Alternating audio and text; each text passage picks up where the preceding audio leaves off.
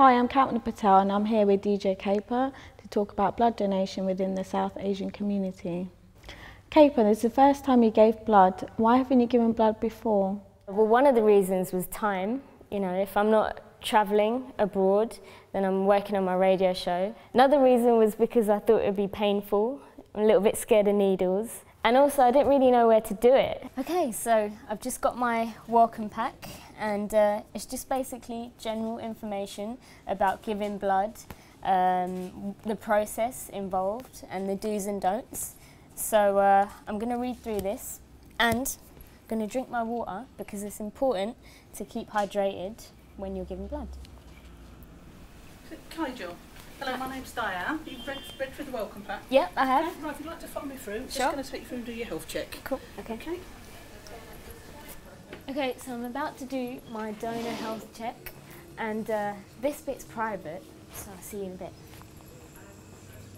So why did you decide to give blood?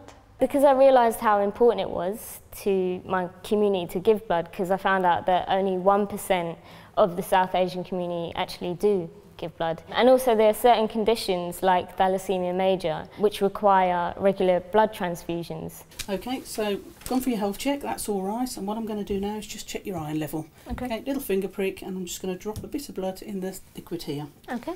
Sinking beautifully. So what's your experience like of giving blood? I thought it was quick, it was easy, it was painless, which I was glad about.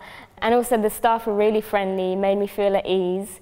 And knowing that I'm, I'm helping my community and I'm helping to save lives is pretty, a pretty amazing feeling. So do you see many Asian donors?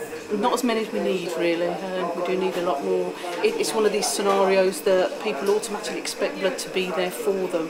And if you went into the hospital and we suddenly said, sorry, you can't have blood today because we haven't got enough, Right. you know, there'd be ruptions. So the more donors and the more ethnic donors we can get through the door, the better it is for the patients that are in there desperate for the blood that we supply. What would your message be for, for potential donors? Well, it only takes an hour out of your day, and it's such a simple and easy process. And in that hour, just think you could be saving a life. So it's definitely worth doing. Kalpna, you actually suffer from sickle cell beta thalassemia. Uh, can you tell me a little bit about that? So sickle cell is a genetic blood condition and uh, basically it's just a lack of oxygen in the blood and it affects people within the South Asian communities. Having the condition has had a huge impact on my life. It's disrupted my employment. Um, when I have a sickle cell crisis, I'm in hospital for a few days, and then when I come home, it takes a few few more days to recover. So tell me about the first time you actually had to have a blood transfusion. I had a blood transfusion when I was about 10 years old, and um, I, I had an exchange transfusion, which means they took out all the old blood and they replaced it with new blood. And that literally saved my life. So I'm very, very grateful for all the people that donate blood. So without them, I wouldn't be here today.